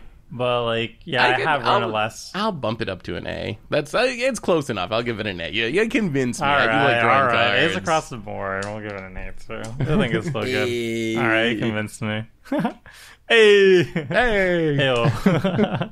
uh, uh, okay, so uh, let's let's move on then. Um, does me? Oh, I have a black card too. You all We've only done black one. cards. Yeah, Tomer's only done one. Except I think everyone me. else yeah, has done we two. haven't even gone through our second row. Yeah, we. Woo. Um. All right. Uh, Siphon Mind, fellas. What do you think about Siphon Mind? I'm just gonna type it in because I forgot. Like, okay, it's three and a black, so four mana sorcery. Each other player discards a card. You draw a card for each card discarded this way. Um, I looking at the looking at the ratings is why I thought this is worthy of discussion. Uh, Seth has it high highest at S. Um, Phil and I have it as A. Krim has it as C, and I was like, this card is like Sorcery one of the speed. best.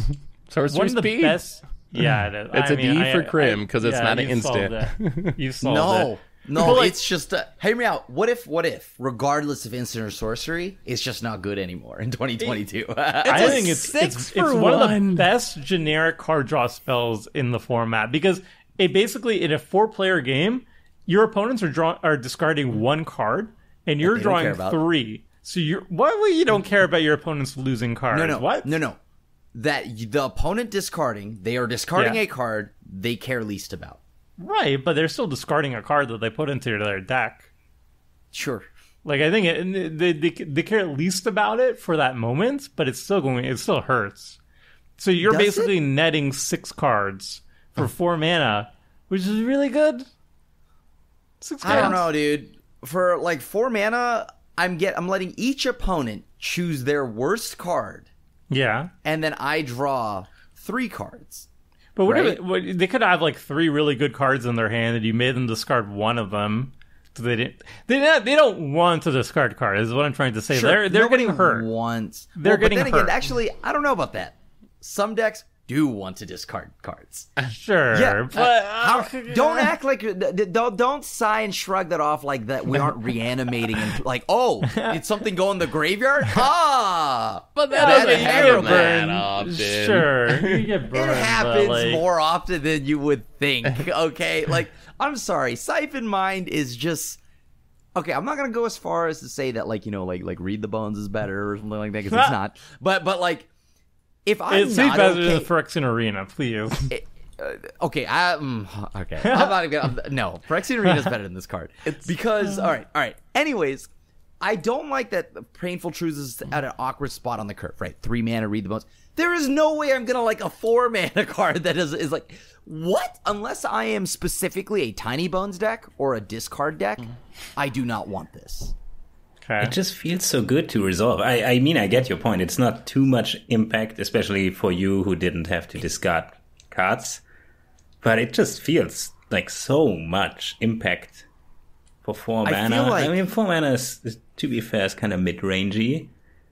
But I feel like the card is just super fun. It just feels like you're doing a lot while drawing cards.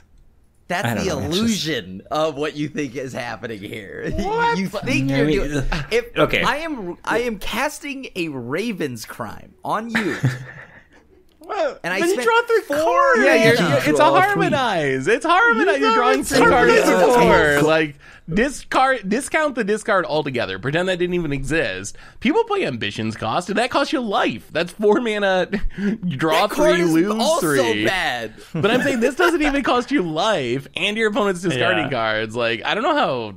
I don't think the discard is like super necessary to make it good. Like it, it helps. It is a six for one, but like four mana draw three with no pain is like that's kind of the going rate in black, and then you just get the discard as like a bonus almost. Assuming that they discard, right? Because like this is like this card is terrible, like top decked, right? Like Wh- late Who game. has zero cards in hand in Commander? late game, people will jam everything they have unless they're a control deck. You maybe you get the control player, but I would rather have an ambitions cost where if I draw that late, I can just guarantee draw me three. Sure. I feel like I the, would ra- the this- this situations where it was bad are pretty rare. I would. Uh, I don't know. Do these things happen a lot? Like, is this actually like a something we should be worried about? The like, oh, they might be reanimating, or oh, they might not have cards in hand. Like, is that something that actually is going to happen? hate- you hate my favorite sword for that exact reason. But it's not card disadvantage if you just miss. Yeah, no, it's just direct. It's, it's not even like putting them down a card in hand. Like if it was, if it was making them discard cards, I'd be all all for it. Making them discard. I'm, I'm, I'm sorry. Like I, I am not a fan of this. This card is so bad. Like it is so slow. It Nine times do out of ten, you siphon mind me. I'm like, I, it hurts. I'm usually discarding a land, and then like two turns later, I miss a land drop. Yeah. I'm like, damn. Richard Siphon minded us all the time, and I would always just and be it's like, oh, always oh. value. Like, Yeah. and I'm just always like, okay. Okay, so How many They times just- do you like? I discard Avison and then I immediately reanimate it or something. Like, okay, it could happen I'm, theoretically, I'm not even but it's tell- like, it's it's first off, it's not that unpro like unlikely as you think it is. Second off, even if it's not that exact corner pocket situation. Mm-hmm. I still don't care. Like I, this card is just not good on the curve. Why do you not understand that? This card is Tomer. how do you this play? better Crimson than a Gas. Phyrexian Arena? Okay, so the oh, thing my- is, oh my god, you ever compare it to Phyrexian Arena? This draws stop three on comparing one turn. things to this.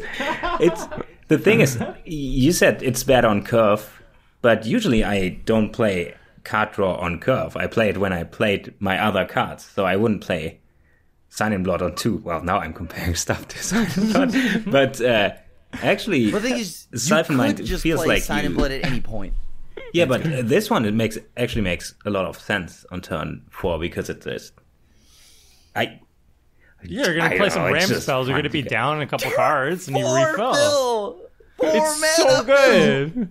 Oh I my god, it's so good. Wow. It Wait like till you- pains wait- me to see till- that there is a four mana do nothing. if this was Do instant nothing. speed, you know, Krim would like mark it like S plus plus, the Oh, best. this they for would instant speed? Yeah. Oh, Ten out of yeah, ten, insane. best card don't, in the game. Don't act. Don't act like if I upkeep you, uh, upkeep cast this when you're hell bent that that's not cracked That's way better than this sorcery. Sure, it's better because sometimes somebody Like, can have no cards in hand, but I don't even remember the times like there would be like ca- I Okay, want to okay. cast Siphon Mind, nobody's hellbent. Like if you're hellbent, you already lost the game. You might as well concede.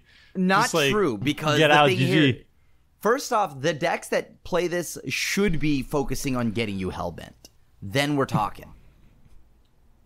Just- You're telling just- me in a deck that is just if it plays black mana, if there is a deck that is playing black mana, you would play this. Like it is like your I one put it random. in. Yeah, I wouldn't discard put it in all decks. It's not an S, but I would put it in most decks. Yeah, I would just jam it. I'd be like, yeah, and it's good. Oh, Most times. It's one it's one black flip. It's so splashable. You can use your But it Jeska's does- will mana on it even.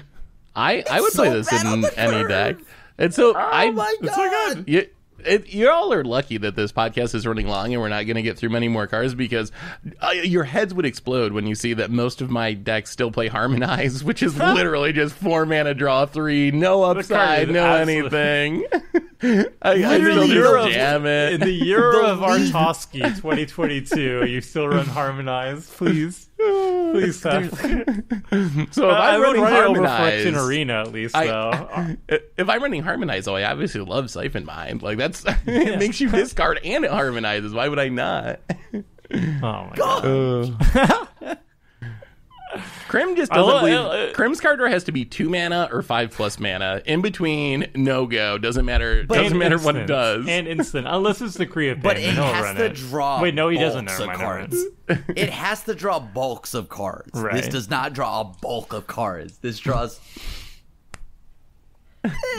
Three. three. Three's good. How, how much is a bulk? How, mu- how much counts as a Four bulk? I'm curious. mana, it draws How me much is three that in in in, uh, In Imperial Fahrenheit, yes. system? How much yeah, is in it in- Fahrenheit? Yeah, is that Fahrenheit or Fahrenheit, Celsius, okay. Krim? Oh god. Okay, this is not the How hot, hot one. This- or this cold is, is this? this? is not a heater. This is a very cold. This is a a Boston winter. This is a like this is very far from anything even a heater. Holy cow, this is cold. Like it is bad, dude. It is bad. Oh, it is like actively bad. No, dude. It's a six for one though, so no. Oh, so good. God. Six for one. Yes. Oh. oh okay, if I were trolling, sure. All right, all right. This, this is S. This is S. This is a great card. we, we got you it. We won him over. There Yeah, yeah. Oh, okay, okay. the we were ultimate troll trolling. card. Okay, okay. This card is sick. This card is sick. But the Okay. magic player in me tells me this card is god awful. Oh boy. Doo doo water. Do we want to keep going? We're like an hour and a half, or do Uh, we end I mean, eight cards? We've pretty much covered. We talked about some of the extra ones. We Talked got about Sign of Blood black in there. Do we want to talk? Do Phyrexian you want to end with I Esper think- Sentinel? I think we should talk about a non-black card. We can end with Esper yeah, Sentinel. just, uh, although I think we all agree on it, don't we? I'm pretty sure we all. we not? Oh, except for Krim. Pretty Krim does not Krim agree on hates it. this card. All right. I don't hate this card. it's better than Siphon. Mind. All right. We're gonna we're gonna talk about one more card, and it's a non-black card, just for the sake of of of, of changing things up for a little bit. And this is a card that a lot of us like, but Krim actively despises. So take it away. I do not despise this card. Esper Sentinel. I know. I know. I'm to just start with that right now. Esper Yep. Sentinel. Yeah. Whenever an opponent casts their first non-creature spell each turn, draw a card unless that player pays X, where X is its power. Okay, Oh, this is that. Obviously a sweet magic card. It's one mana and it's an artifact, right? So that means you can get it with Urza Saga. Everybody does that. Uh, but like, yeah, everyone has this rated essentially at what an S. I think Eh. everyone's got this at an S except Eh. for me.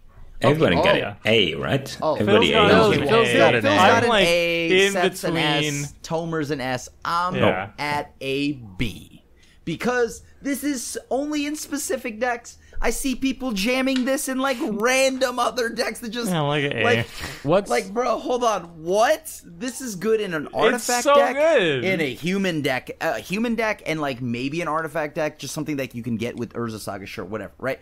But like You can't. so many times. Yeah. Oh, you can't. Edit- even editors worse. know. Yeah, try it. You can It- get it it's with even Trinket Mage. Worse. Oh You can my get it with Trinket God. Mage. Wait, okay, Okay. so why Okay. Why do you think you wouldn't play this in any deck? Like does didn't we do the math on this? Didn't we have like several stats episodes where it's like, oh, every time someone plays this, they draw five cards for one mana or like some ridiculous number? No, like Seth. how Every- how Yeah. is that possibly bad if that's what the actual math time. says?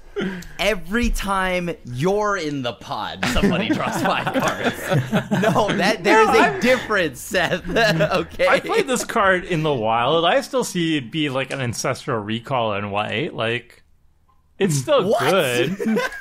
I feel like every time I see this card in the wild, every time I play this card, Especially if it's like One- turn one. If it's turn one, I can't tell you the amount of times like I was at GP Richmond or just anywhere where like you play a turn one Esper Sentinel and the next person's like, well, I'm not not going to cast my rampant growth on curve, and they just cast a No, rampant growth or a signet into it. I know And it's that's wrong. wrong. And that wasn't that's even how me. people do it. Like that's, that's what people think- do.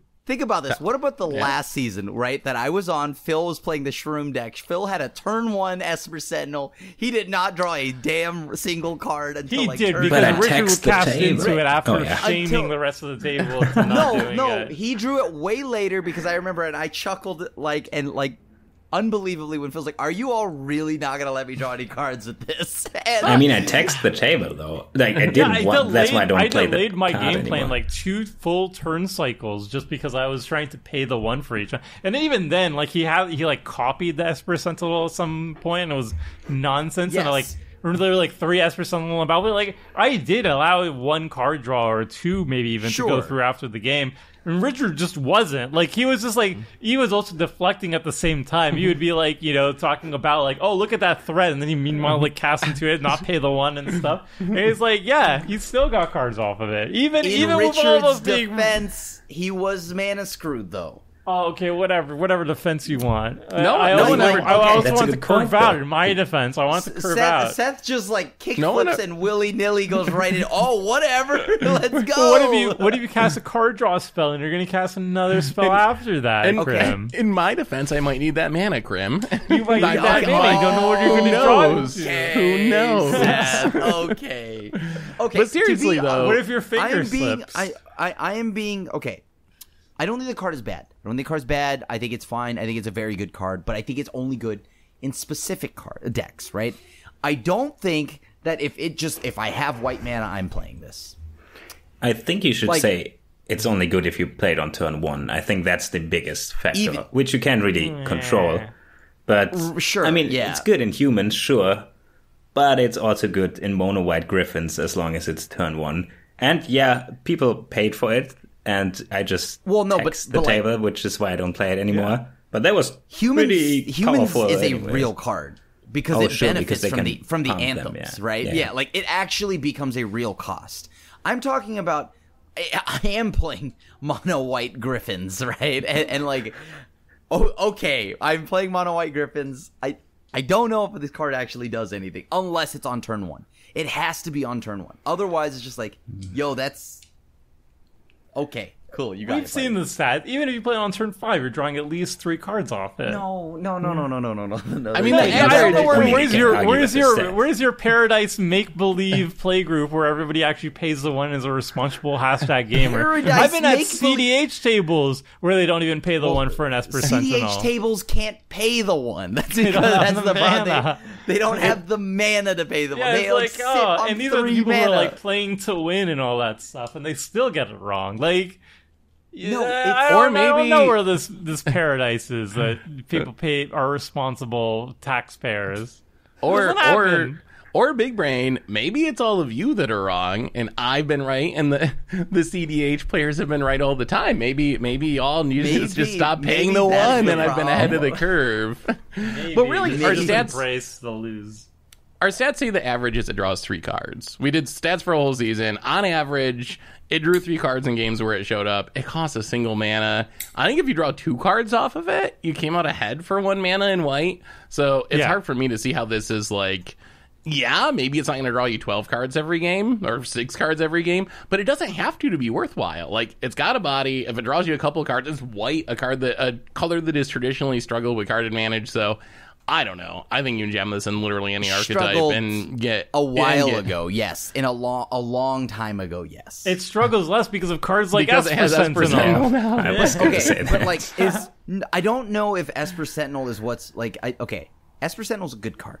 Again, I will state this, but it is not every deck good. How is this every deck good? I just want to put in like a five color deck because it might be So- too difficult to jam at turn one. But like, So is Ancestral It's Recall good. not every deck good? Because drawing three for is the argument that drawing three for one is just not good at Magic? Is that is that No, no, is no. that where we're at? Ancestral creature, so it's even better. is And an artifact. guaranteed to draw me three cards at instant speed. First off, second off, this card is just going to sit. Like I feel that every time, not even I feel, I see that this card often, I, like I draw it like turn five, I play it. My opponents draw it like turn seven, they play it. Unless it is turn one, this card is just not doing like like it's not like it's a bad card. It's just not S tier. That's all I'm saying. It And does this drop card is- off, but like if I play a turn three Esper Sentinel, I'm still very happy. I'm gonna get my value. Turn five, it's gonna get a little bit dicey. Turn seven, yeah, it's not gonna do too well. Although we did have like a weird stat where it was like we played a turn ten and we drew like six cards or something like that because people just like stopped caring or something. Yeah. Um, They're like, too yeah. lazy to pay. Yeah. yeah, I, I don't think this card is good. And then obviously its ceiling is much higher, right? Because if you can pump its power, then the tax There. becomes unplayable. That. Like, so yeah, humans equipment decks. You put a sword on it, you or pay, I mean, tax decks, humans decks, Voltron Yeah, any way to pump yeah. it. Yeah, But like even without, I don't even care. Like if I'm in an Azorius deck, like I'm, I would. You need to give me a very good reason not to run this in like an Azorius deck. I would just jam. any two color deck. I will 100 percent jam this. Any three color deck. I will 100 percent jam this. Four and five, I'm like oh, maybe I won't. But like you have to give me a reason not to run this card. I think it's in blue so and good. white, I would not play this when Mystic Remora exists. I would pay the one on cumulative upkeep, and and know that I for sure am slowing down the table. Like like ain't But nobody you're slowing paying for it. yourself down too. That's the difference between Mystic Yes. Remora and you. You're paying Perfect. My- cumulative upkeep. perfect. My decks are like any like in blue and white. I, I guarantee you, you're not aggro. like like you are not that fast. I've tried to build a hyper aggro blue white deck. It doesn't work. Uh, so when I say hyper aggro, I mean like closes quickly. You're a stacks deck or you're you're like whatever. The point here is if you're a tax deck or something like that, okay, sure. You're a, you're you're taxing the mana base, so it is actually hard to pay the one. But if you're just like a random hippogriff deck, I don't I don't understand why you're jamming this card. This card's so good. It's pretty What? good, yeah.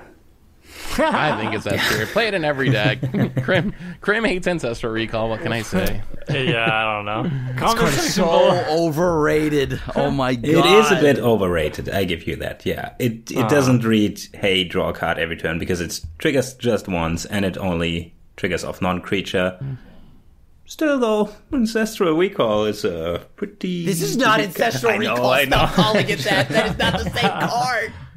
It's better than Ancestral Recall. no. Yeah, you're right. Yeah, can your No, Ancestral Recall isn't. attack? Yeah, can, can your can your Ancestral can't. Recall equip a Sword of of Fire and Ice? I don't think Oh, so. wait, we gotta we gotta put it in think Krim so. terms. Krim, Sword of Body and Mind. Body Oh. and Yo, mind. first off, first off, Sword of Body and Mind is No. a saint. Don't you dare talk ill on Sword of oh. Body. You can Second make off, a wolf token. Wow. Second off, yo, Ancestral Recall draws me cards. This does not always do that. this one Wait, is It's just amazing. not, a, it's not enough. It's just But what if the opponent has like a Narset and you can only draw in increments of one? Then ancestral Perfect. recall is worse, huh? Well, yeah. Ancestral Recall could respond to that on the stack and just Sure. draw for one and get my three then. it's banned Or I though. wait. so- What's a better Yeah, top deck banned. though? Esper Sentinel, easy. D- no, no, it's not. no, it's not. No, it's not. Which which can I find off Trinket Mage? Esper Sentinel, easy. Okay, fair. Oh, you win there. Get it back with Sun Titan, easy. Okay, fair. That's I'll admit actually- that. yeah. I'll admit that. Okay, yeah, it's true. Mm-hmm. Your opponent will now be not even inconvenienced again. like, like yes. Okay. All right, leave a comment down below. Uh, what do you think is better, Ancestral Recall or Esper Sentinel? That's not a real question. It can't be a real question. we'll find out together, Krim. We'll find out together. Um, all right. Uh, we're gonna call it here. We we got nine cards, which is less than we expected, but I think the reason why we had only nine is because we chose the one that we thought were the most controversial ones that we could talk about. And I think mission success- successful because we did talk a lot about them. So, um, again, we have the entire ranking that's going to be linked in the MTG Goldfish article, and it's also going to be linked in the YouTube section. I'm probably going to pin it, put it in the video description as well there. Um, so if you're listening to this on Spotify or iTunes or wherever, you can just head on over to mtggoldfish.com, find the article, and uh, it will be there. All right, that's our show, everybody. We'll be back next week as usual with a new topic. We don't know what it's going to be yet. We're going to t- to be announced. Um, and then yeah, uh, thanks for watching slash listening. Until next time, friends. See ya.